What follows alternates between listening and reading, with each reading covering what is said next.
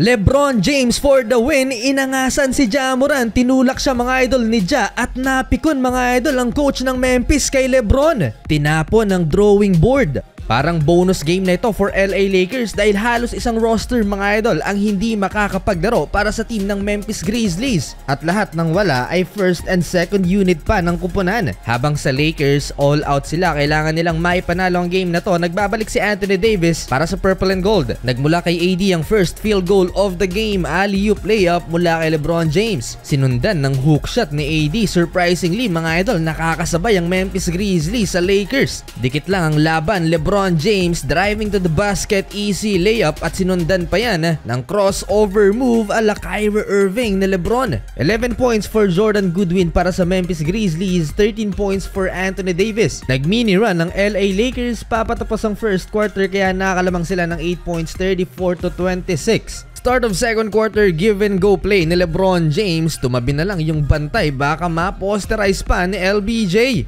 Wala pa talagang senyales ng pagre-retiro itong si Lebron at mukhang aantayin pa talaga niya si Brony. Eto sa play na to, nakalibre ng masahe ang Australianong si Jack White. Bagsak ang player na to, count the basket and one. Parang nagulat pa siya sa nangyari at sumakit yata ang dibdib mga idol sa lakas ng impact ng pagbangga ni Lebron. Jackson Hayes from defense to offense umabot na ng double digits ang lamang ng LA Lakers sa Memphis Grizzlies. 44 to 32. After ng impressive run na yan ng LA Lakers, eto nagkakamot na si Lebron James dahil ayaw sumuko ng mga G League guys ng Memphis. At papatapos nga ang first half, pinosterize mga idol ni Scottie Pippen Jr. Itong si Rui Hachimura, grabe hype na hype si Jamoran sa nangyari. Last time kasi na magtapat ang Lakers at Memphis Grizzlies, pinahiya ni Lebron James itong anak ni Scottie Pippen. Nahirapan pa ang Lakers 68-64 halftime, lamang lang ng apat ang purple and gold.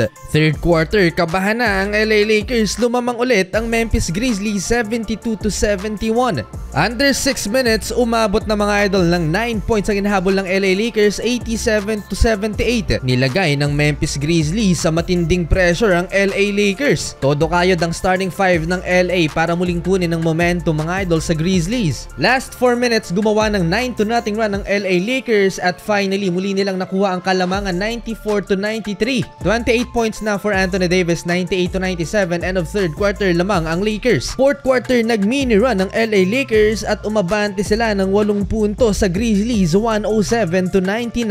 Under 9 minute muling umatake mga idol sa LeBron James sa paint. Solid ng pagka nagkaka-challenge kay LBJ pero nakabingwit ng fall mga idol si King James. Dikit pa rin ang laban, Scottie Pippen Jr. running finger roll layup hindi inabot ni Lebron James chase down block sana. Tuwang-tuwa mga idol si Scottie Pippen Sr. na sa pagkakataong yan ay nasa loob rin ng arena nanonood. Career high for Scottie Pippen Jr. 28 points at proud na proud syempre ang Chicago Bulls legend. Under 6 minute remaining LeBron James one-handed dunk at nag-flex pa mga idol sa harap ni Jamorant. Last 2 minutes lamang ng tatlo ang Lakers. GG Jackson two-handed dunk 117 to 116. Last 1 minute sa free throw na to mga idol lumamang ang Memphis Grizzlies 118 to 117. Pero after nyan, clutch LeBron James fake pass and the layup 119 to 118 lamang na ang Lakers. Last 6 seconds nakapag-steal ang Lakers at nauwi yan sa two-handed dunk ni LeBron LeBron James at pinag-aangasan mga idol ang bench ng Memphis Grizzlies. Inangasan si Jamoran sabay tulak ng Memphis Superstar. Kahit coach ng Memphis Grizzlies mga idol napikon kay LeBron James panalo ang LA Lakers.